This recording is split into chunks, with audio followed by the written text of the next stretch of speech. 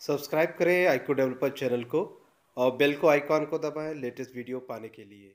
नमस्कार दोस्तों, आज हम बात करने वाले हैं केरल की, स्पेशली केरल में जो चल रहा है उसके बारे में, क्या है केरल में, क्या प्यार है, जिहाद है या कुछ और चल रहा है? और हम बात करेंगे आज अखिला की अखिला कैसे हदिया बन जाती है उसके बारे में। मेरा नाम है सत्यम तिवारी और देख रहा है YouTube channel IQ developer.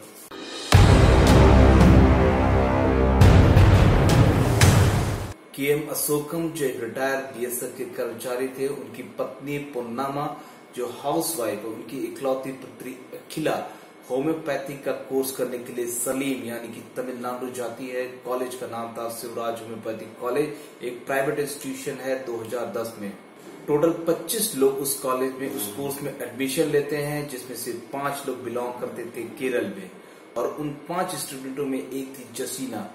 और जिसकी बहन जब अकेला एडमिशन लेती है, उसके एडमिशन के छह महीने बाद, वो एडमिशन लेती है एक दूसरे कोर्स में। टोटल हो जाते हैं केरल से स्टूडेंट छह और ये छह स्टूडेंट जो कॉलेज के हॉस्टल में पहले रहा करते थे, उसको छोड़ के बाहर रहने लगते हैं अलग रेंटेड फैसिलिटी में। यही हॉस्टल के बाहर रेंटेड फैसिलिटी में जब जसीना और अकीला दोनों साथ रहते हैं, वहाँ पर अकीला ज़्यादा प्रभाव में आती है जसीना के और एक सोशल साइट पे जरी सहाना और फजल मुस्तफ़ा पे उससे मुलाकात होती है और वो इर्नाकुलम जाती है इस्लाम धर्म को कबूल करने के लिए। सबसे पहले अखिला के परिवार को शक तब होता है जब वो दादा के डेथ के बाद घर पे आती है और जो भी कार, कर्म क्रिया वहाँ पर हो रहे थे, वहाँ पर भाग लेने से वो साफ़ इनकार कर देती है। 2 जनवरी 2016 को अखिला घर छोड़ देती है। सलीम के लिए निकलती है अपने होम्योपैथिक कॉलेज के लिए, लेकिन वो सलीम नहीं जाती। वो जाती है अबू बकर, यानी कि जसीना के पिता के घर। वहाँ उनसे मुलाकात करती है और उनसे इस्लाम में कन्वर्ट होने की अपनी इच्छा को ज़ाहिर करती है। अबू बकर अखिला को लेकर थरीबतुल इस्लाम सवार जिसको शॉर्ट में हम लोग टीआईएस आगे से प्रोनाउंस करेंगे लेके जाते हैं, वहाँ पर एक रिलीजियस संस्था है गवर्नमेंट की सर्टिफाइड संस्था है, जो इस्लाम में कन्वर्जन को प्रमोट करती है। वहाँ लेके जाते हैं, लेकिन क्योंकि अकीला के साथ उसके माता पिता नहीं थे, इसलिए वो वहाँ पर उसको एज ए एक्सटर्नल स्टूडेंट उसको वहाँ पर वो एंट्री देते हैं। पाँच जनवरी 2016 को अबू बकर अखिला को लेकर पहुँचते हैं मरजुला Hadiya Satya Sarani education and charitable trust में, जो इस्लाम के ऊपर रिलीजियस कोर्स चलाते थे। अखिला को इसकी ज़रूरत थी क्योंकि जो टीआईएस में सर्टिफिकेशन लेना था इस्लाम का, वो यहाँ से पास पढ़े हुए कोर्स के थ्रू ही वहाँ पर वो पढ़ सकती थी, वो कोर्स में सर्टिफिकेट ले सकती थी।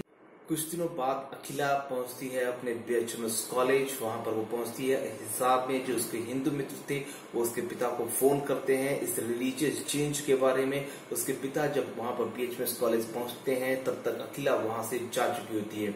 वो एक मिसिंग रिपोर्ट लिखाते हैं वहाँ पर। पुलिस अबू बकर को गिरफ़्तार कर लेती है। इस बीच अखिला वापस चली जाती है सत्य सरानी में, जहाँ पर ए एस जबीन को उसका केयर टेकर बनाया जाता है। ए एस जबीन जो नेशनल वुमेन फ्रंट की हेड थी, उनको इसका और यहीं पर अखिला को अपना नाम चेंज कर हदिया रख लेती है। के पिता अशोकम एक पिटिशन फ़ाइल करते हैं हाई कोर्ट में, और हाई कोर्ट से अर्ज़ करते हैं कि उसकी पुत्री को ज़बरदस्ती रखा गया है।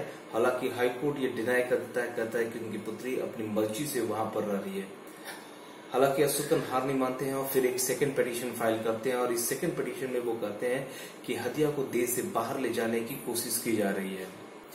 कोर्ट हदिया उर्फ़ अकीला को डायरेक्ट करता है कि वो हॉस्टल में जाए, अपने बीएचएमएस हॉस्टल में, वहाँ जाके अपनी एजुकेशन को कंप्लीट करे।